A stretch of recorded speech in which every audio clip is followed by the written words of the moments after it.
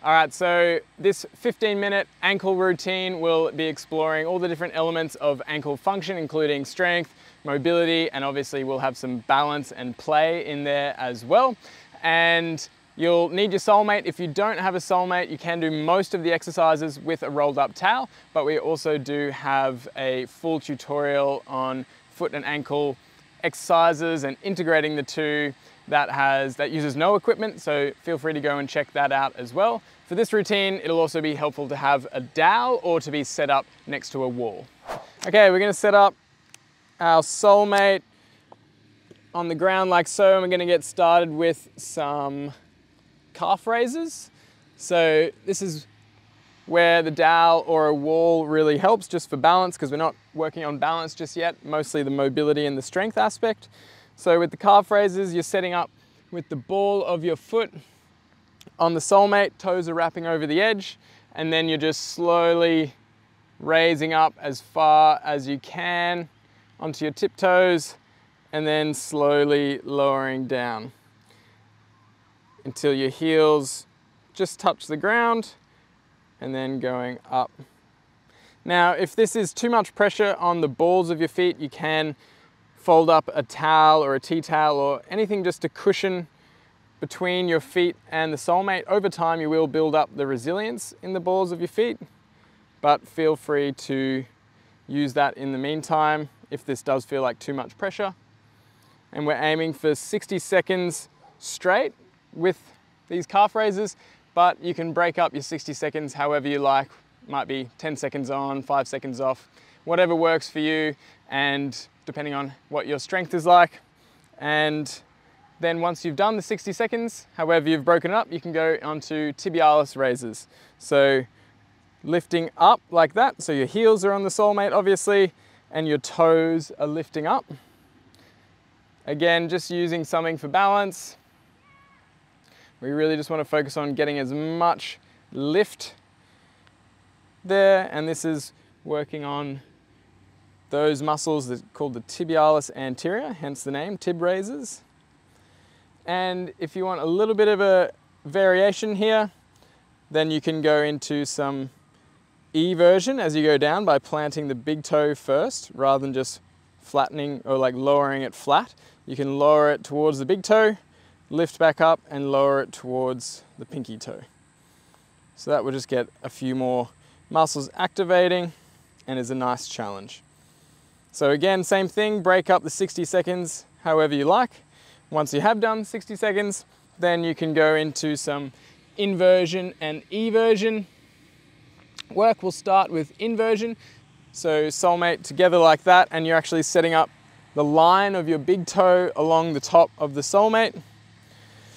And then you're just allowing your pinky toes to rest towards the ground and even touch the ground so that you're getting a little bit of an inversion stretch. And then you can lift back up.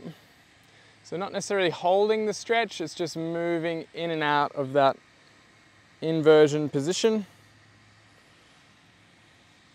You will feel a stretch down the outside of your leg. Most people will, unless you're very hypermobile.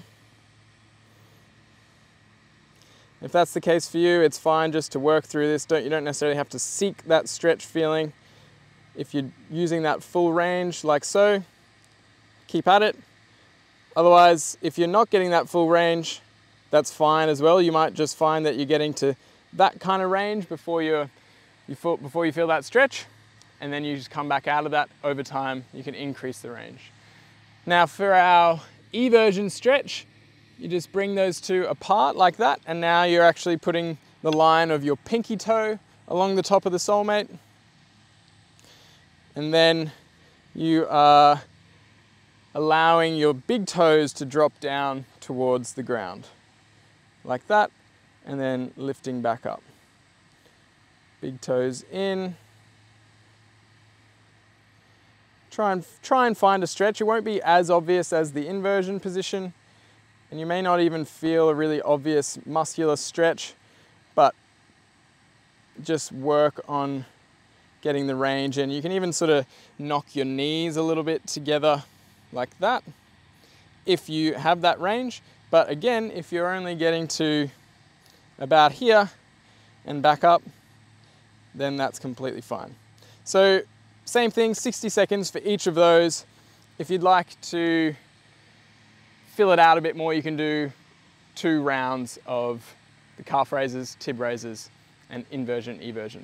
All right, moving on to balance. We're gonna have our SoleMate set up in beam mode like so, and we're gonna start with some ninja walks. So this is just where we are set up in ninja stance.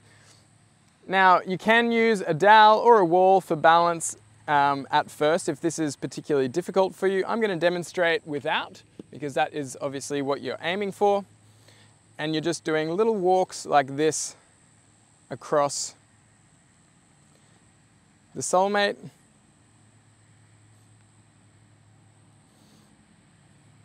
and back. So going for 60 seconds total.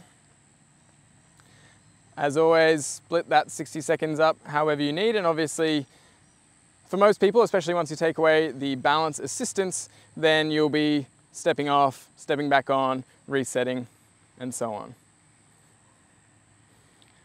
So once you've done your 60, you can move on to heel ninja holds. So this is where, very similar to the tib raises, we're just raising up our toes off the ground, but now you're trying to balance there, okay?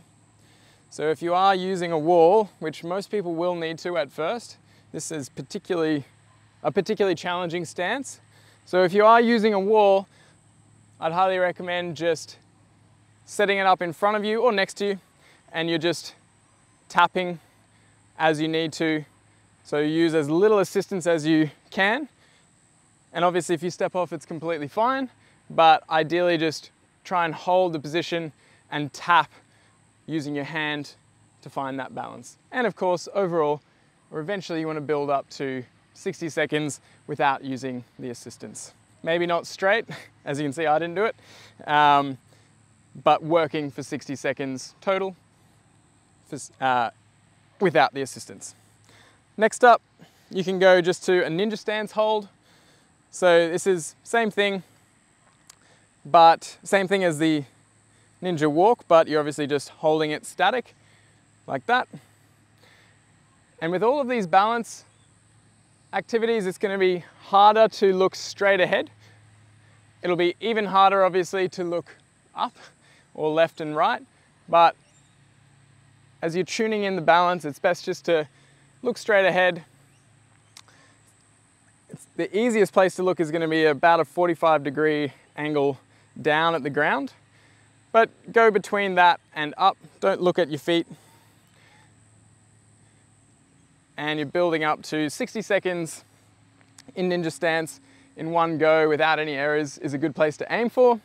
Um, but of course, stepping off, stepping back on, or using a wall for assistance is completely fine too.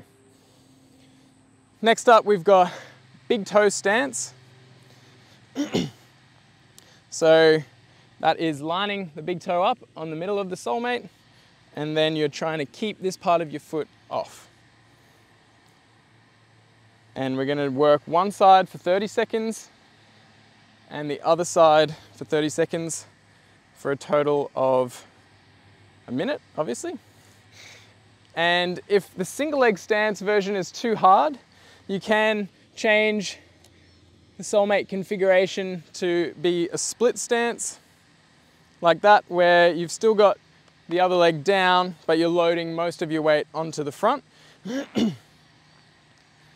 okay, and then you do the other side. That, I'll just demo that. The other side for 30 seconds. Again, if you're stepping off, that's fine and I'll demo what that looks like in single leg, just so you know that it's possible. The other thing you can do with any of these stances, if you want to increase the challenge, is take your arms away. Obviously, if you want a really big challenge, you could close your eyes. but I'd recommend doing the no hands first. Last stance is pinky stance. So the line of your pinky toe is lined up on the top of the SoleMate now, and you're trying to keep the rest of this off the SoleMate. So we're just building with both of these pinky, pinky toe stance and big toe stance, we're building the stability and the control through the inversion and eversion. 30 seconds on one side, 30 seconds on the other side. Again, you could go no arms. You could go no eyes. If you want a lot of challenge,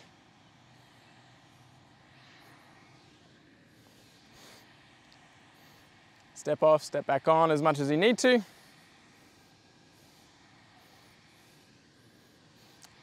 And that is your balance section. All right, now we're gonna get a bit more playful. If you do have a hacky sack, now's a good time to get it out. Otherwise, a balled up pair of socks will be fine for this.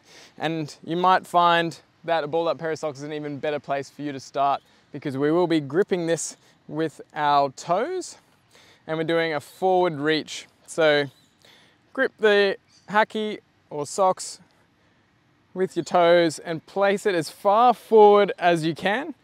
Stand back up and then reach to grab it again.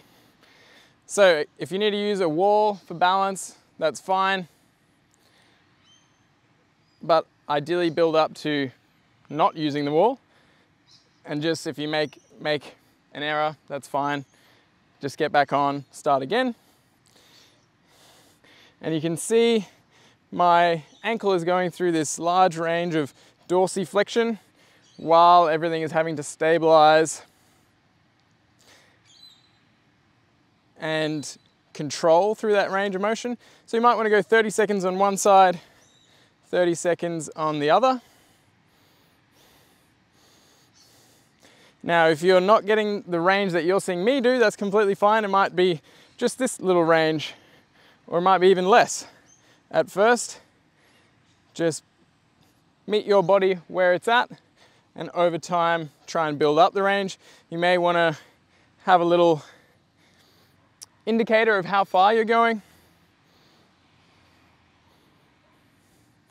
The other thing to note is just try and keep your heel down.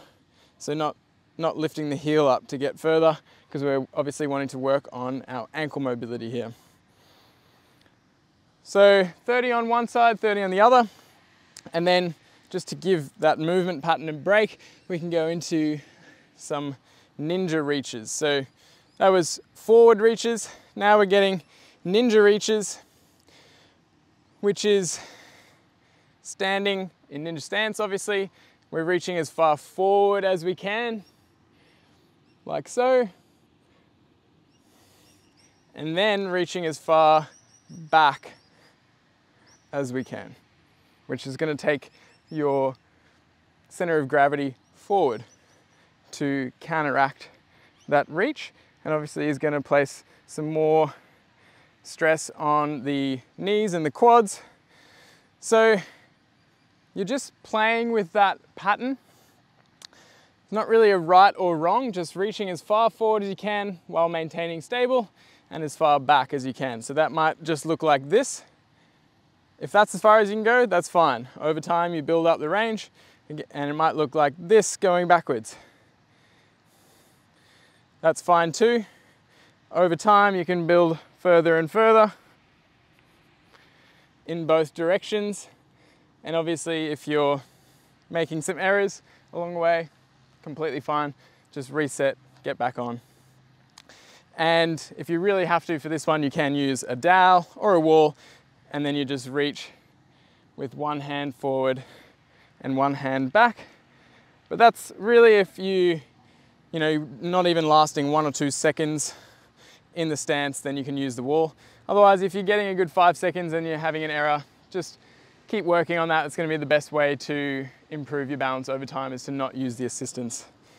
But if you need to, use the assistance as much as you like. Now, Set a timer for five minutes and go between those two exercises, spending about a minute on each one. Um, go between, play for five minutes, and yeah, try and get into the zone, have fun with it, and enjoy.